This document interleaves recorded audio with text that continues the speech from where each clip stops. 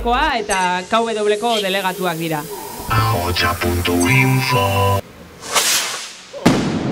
Lan zentrotan eta kalean egoteko beharra ikusten dugulako. Pobretze eta prekarizazio prozesuak gure bizitzako eremu guztietan eragiten duelako. Eta zuzen ere, ekintza sindikala eta soziala batera modu integralean ustartu nahi dugu. Eta horretarako kanpaina hau antolatu dugu.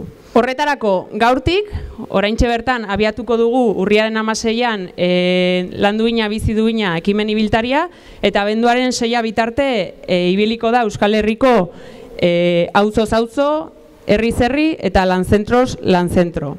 Langile ez dago rekuperazio ekonomikorik, azkundea betikoentzako dago. Euren aberastasuna eta ekonomiaren azkundea bizitzaren prekarizazioan oinarritzen dalako. Ekonomiaren eh, azkunde hori ez da langileen gana iristen eta hori da salatu nahi duguna, ez? Guzionen atzean inposatu izan zaigun sistema kapitalista heteropatriarkala dago, horren baitan gehiengo zabal batentzat geroz eta zailagoa da bizitza duina garatzea. Geroz eta zailagoa eta kasu batzuetan ezinezkoa bizitza duin bat aurrera ateratzea. Garbi dao, kapitalak etekin handitzeko bide desberdinak erabiltzen ditula, baina, bueno, ba, lehenengo arrazoia kapital eta lanaren arteko konflitua termino klasikoetan ulertzea. Argi dagoena da, lan harremanen prekarizazioan urrats berriak ematen ari direla. Lan baldintzak eta soldatza, soldatak kaskartzen ari direla. Eta azken batean, honek ekartzen duena da, errenten eskualdatze bat. Geroz eta errenta gehiago kapitalaren eskuetan, geroz eta errenta gutxiago langileen eskuetan. Bigarren arrazoi moduan kokatu behar dugu ere lan produktibo eta reproduktiboaren arteko zatiketa. Hau ere, kapitalak etekin handiagoa ateratzeko arrazoi moduan ulertu behar dugu. Bizitzaren oinarrian dauden zaintza lanak ez dira itortzen, ez dira kontabilizatzen, ez dira barne produktu gordinan kontutan hartzen, naiz eta funtsezkoak diren. Hirugarren arrazoi bezala kokatu behar dugu zerga politika.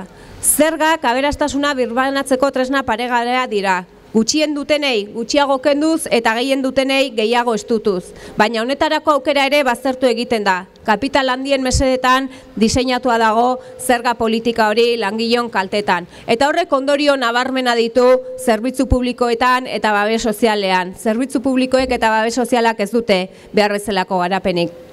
Eta laugarren arazoi moduan ere kokatu behar dugu, etekina ateratzeko modua dala ere naturbalia bideak neurri gabe ustiatzea. Guzi honen gatik esaten duguna da kapitalak bizitza duina ezinezkoa bilakatzen dula. Prekaritatea azken batean dominazio sistema bat da, langile klasea dominatzeko sistema bat. Zatiketa eta individualizazio prozesuak langilegoa hauldu egiten duelako. Batasunak eta antolaketak kolektiboak ematen digu indarra langileoi. Ekimen honekin helburua bikoitza da. Lehenengoa, kontzientzia hartzea. Kontzientzia hartu bar dugu prekarietatearekin bizitzera kondenatu nahi gaituzten arren, hori ez da normala. Alternatibak badaude, posiblea da prekarietatetik irtetea. Badago nahiko diru guztie bizitza duina bermatzeko. Eta bigarren helburua, borrokara batzeko eskaintza bada. Aktibatu eta mobilizatu behar dugu. Kolektibo bakoitzari borroka eskaintza espezifikoa egingo diogu. Bere realitatean oinarritutako borroka eskaintza, baino beti ere gure indarra kolektiboan dagola kontuan hartuta. Thank you.